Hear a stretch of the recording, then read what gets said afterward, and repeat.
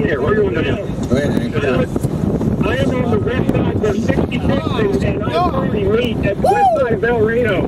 And that look at that whole red cloud. You can it keeps touching the ground. It hasn't laid down a big tornado, but it keeps producing what's that right there? That are touching the ground. The whole cloud base is almost on the ground. That whole thing is just circling like a top. Yeah, it's scary. Right here in the middle. It's, it's touching down again. There it is. There it is. There it is. There it is. Nice shot. There it is. Nice shot, Gary. Um, I'm in Silver City. Guys, one at a time. One at a time. Gary, it is straight south of my position on Molar. It is straight south of me on I-40 and, and Highway 66 at El Reno Loop. I'm looking straight south at it, and it's probably a mile to two miles us? south Yeah. of I-40 going southwest of El Reno. I believe that is. Look at it. Okay. It's multiple. Let's go to go go to David. David, go ahead. Gary, take our train, multiple vortex tornado. Look, Gary, look at the map. Tell me what little town is south of me. On my map, I don't see anything. There's, there's a small water tower. It's over a city. I can't tell you what it is. It's a small water tower. Multiple vortex tornado on the ground now. Multiple, just like Hank said, he nailed it. It's right here. Multiple vortex tornado. One, two.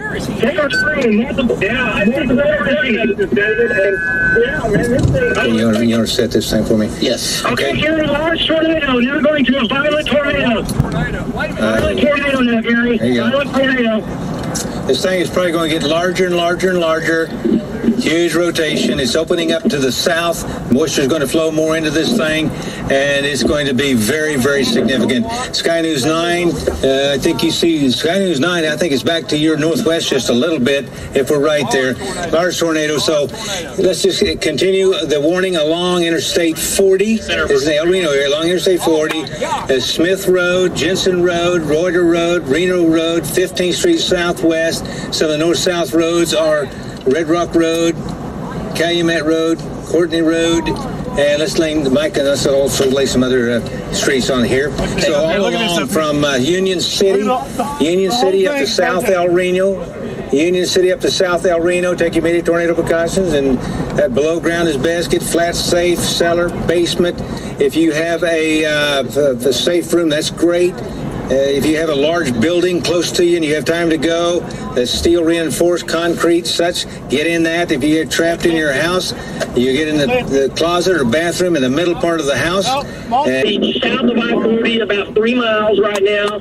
Right in front of us, large, multiple, serious. This is a serious Look at tornado. jam shot. Large, Golly, both of them. serious. We got two of them. We got it on, uh, guys. We got it on uh, Sky News 9, Bob Mills Sky News 9, huge tornado multiple vortex. And also we've got it on Davis Frame. Hank's got it. one. So as we look at these videos, I'm going to tell you, we know the tornado's there. It's uh, along and south of Interstate 40. Looks like right now it is uh, going to be south of Elm Street. But uh, you guys, in, for sure, in South El Reno, take immediate tornado precautions. And let's see, down to on down to Union City. Take a tornado precaution in Union City. This thing continues. It's a huge tornado producing multiple vortex tornadoes. That means several tornadoes. And this thing is going to be an animal. You, you folks out in the path of this, you know, the El Reno area, the whole thing is wrapping up, guys. I tell you, this is not good news. So about the southern half, south of Interstate 40 through Canadian Canyon.